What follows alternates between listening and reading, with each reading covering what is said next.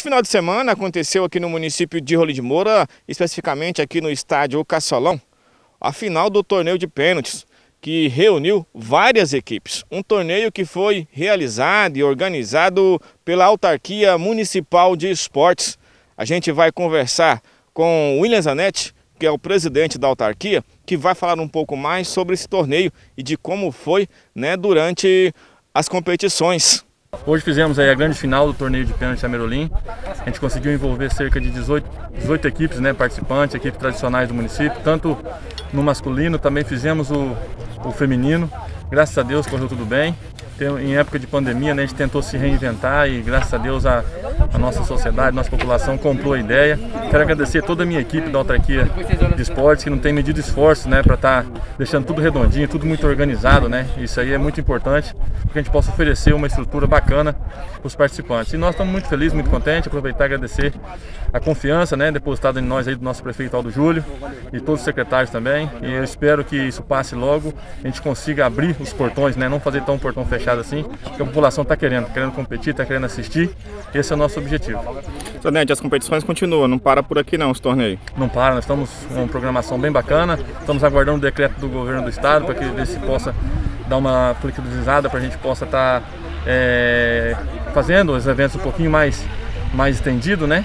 E a gente tem outras modalidades também. Várias equipes participaram desse torneio. Gerson e Alexandre chegaram a ir para a repescagem, mas correram atrás do prejuízo e ainda conseguiram ganhar o troféu. A gente vai conversar com a dupla para falar um pouquinho mais sobre esse troféu e como foi realmente né, correr atrás do prejuízo, depois de estar perdendo, tiveram a sorte de conseguir ainda ganhar o troféu e o valor em dinheiro.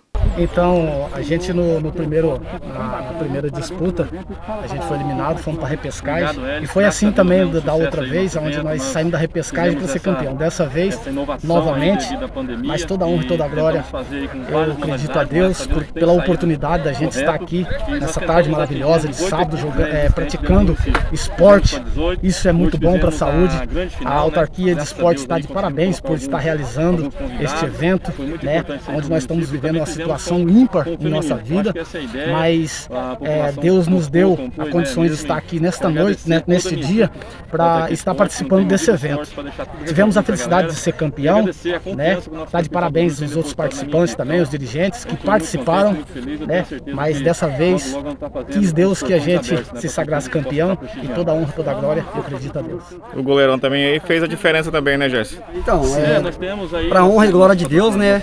É, mais uma vez a gente estamos aí participando de um evento da autarquia, é, que graças a Deus, é, nos limites dessa pandemia, estamos é, fazendo um, um, excelente trabalho, tudo certinho, tudo organizado. Então a gente só tem que agradecer primeiramente a Deus e segundo a eles, e que venham mais e mais, né, que possamos aí, estamos disputando não só pênalti, mas começar os campeonatos aí, para que possamos, é que não o Gerson falou, estamos é, na, na, atividade física, que é o mais importante. Então esse agradecimento mesmo e a honra e glória para Deus. Rapidinho, eu queria, é, nessa oportunidade, estar está parabenizando os organizadores, aqueles que acompanharam pelas redes sociais, porque foi transmitido, o pessoal dando força, alguns né, é, torcendo para sua dupla, isso faz parte, isso é bom, né, muita, muitas pessoas estão confinadas em suas casas, né, mas vai chegar o momento que essa pandemia ela vai cessar, nós vamos estar de volta aos gramados novamente, com as famílias, que isso é muito importante.